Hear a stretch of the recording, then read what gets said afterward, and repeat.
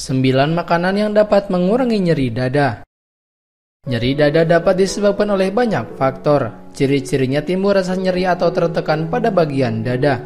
Jika terjadi gejala tersebut, sebaiknya segera hubungi rumah sakit terdekat supaya bisa ditangani dengan cara yang tepat dan cepat. Selain dengan penanganan medis, ada beberapa cara alami yang bisa dilakukan untuk mengurangi masalah tersebut. Salah satunya dengan mengonsumsi bahan makanan kaya akan nutrisi untuk mengurangi nyeri dada. Bahan makanan tersebut bisa cukup mudah untuk ditemukan. Berikut adalah 9 makanan yang dapat mengurangi nyeri dada. Yang pertama, almond. Dilansir dari medicalnewstoday.com, cara untuk mengatasi nyeri dada ringan dan secara alami adalah dengan mengonsumsi kacang atau susu almond. Makanlah beberapa kacang almond atau minum secangkir susu almond untuk meredakan rasa nyeri. 2. Soda kue Soda kue juga dipercaya dapat membantu mengurangi nyeri dada. Caranya adalah dengan menambahkan sedikit soda kue ke dalam air hangat atau dingin. Aduk hingga tercampur rata lalu minum. 3. Bawang putih Selain bisa membantu mengurangi nyeri dada, bawang putih dapat membantu mengurangi penumpukan plak di arteri. Caranya, campur satu atau dua siung bawang putih cincang ke dalam segelas susu hangat, kemudian minum secara rutin. 4. Cuka apel Cuka apel juga dapat digunakan untuk mengurangi rasa nyeri pada dada. Dengan catatan, gunakan sedikit cuka apel atau seperlunya saja, jangan berlebihan. 5. Jahe Sama halnya dengan herba lainnya, jahe dipercaya memiliki efek antiinflamasi.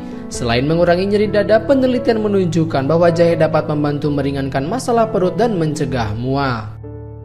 6. Susu kunyit Mencampurkan sekitar satu sendok teh bumbu kunyit dengan secangkir susu hangat adalah salah satu cara mengurangi rasa nyeri pada dada.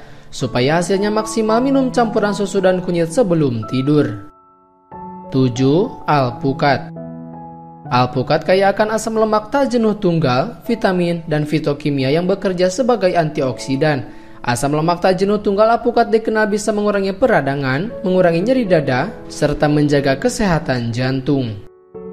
8. Sayuran hijau Dilansir dari verywellhealth.com, sayuran hijau seperti bayam dikemas dengan senyawa yang bermanfaat bagi jantung dan sistem pembuluh darah. Selain itu, senyawa dalam sayuran hijau ini dapat mengurangi rasa nyeri pada dada Anda.